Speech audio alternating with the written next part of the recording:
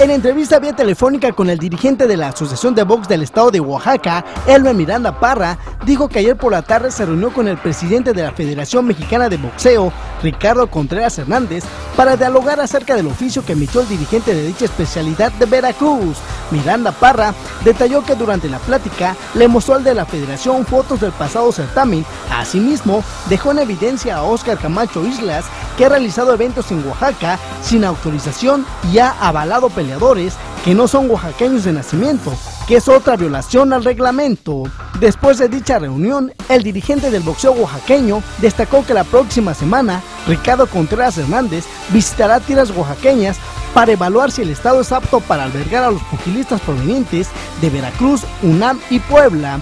Por último, Miranda Parra aseguró que el regional sí se va a realizar en la Verde Antequera. Para MBM Deportes, Alan Pacheco.